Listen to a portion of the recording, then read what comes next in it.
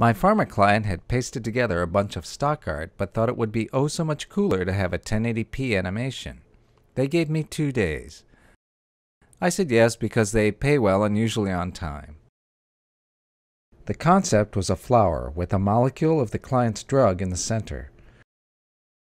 The flower pops up through the snow while melting the snow with some sort of mystical flower heat. In my head, there were not too many elements. The flower would be fairly simple.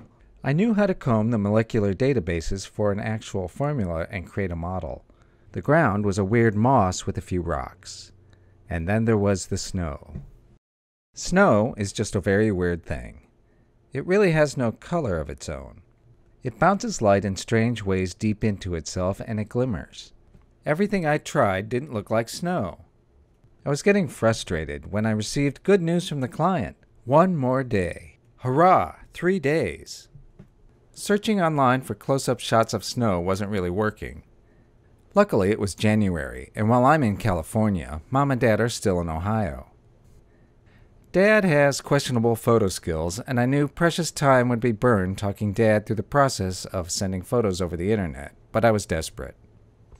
And in the end, Dad's photos were not that much help. So after a little more experimentation, I ended up with a very low poly surface populated with 225,000 instances of two single polygon snowflakes with a sprinkle of randomness applied.